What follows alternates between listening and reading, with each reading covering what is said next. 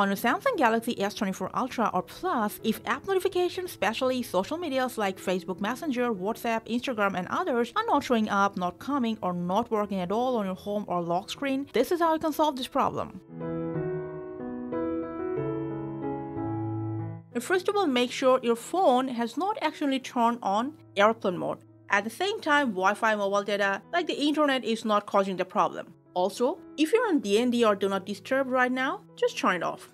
Now, after all these things, if your notification is still not coming up, what you have to do is just from settings, go to notifications and tap on it.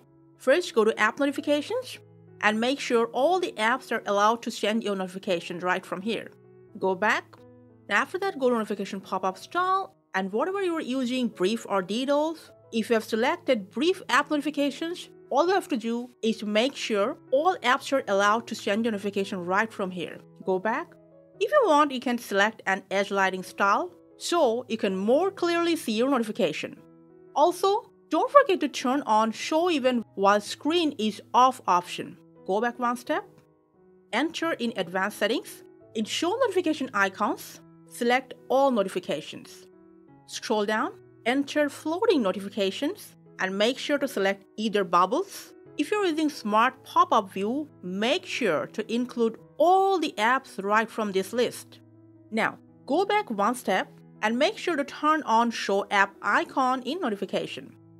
Now, we have turned on all the notifications and notification problems should be solved. But just in case you're still facing notification not coming problem with selected or specific apps, what you have to do is just from settings, scroll down, enter apps, Look for the app you're not getting a notification after all this.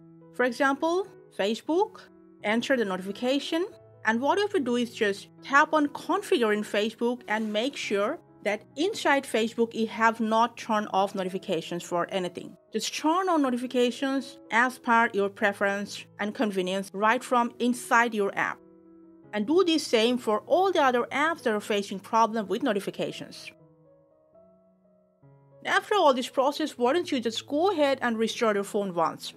I call it sealing the deal. After the restart, your app notification not coming or not popping up problem will be solved on your S24 series phone. Thanks for watching.